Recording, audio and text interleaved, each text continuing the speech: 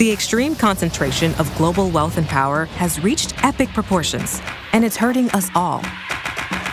Oxfam holds global corporations and governments accountable for unfair tax rules, stagnant wages, and dangerous working conditions that benefit the privileged few and fail the rest of us, especially women and people of color.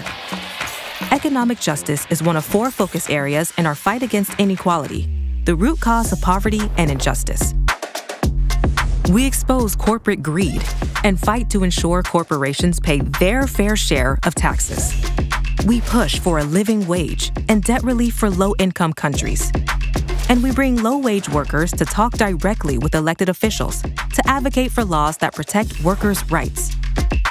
We're building a more equal world so that everyone can thrive, not just survive. You can help. Join us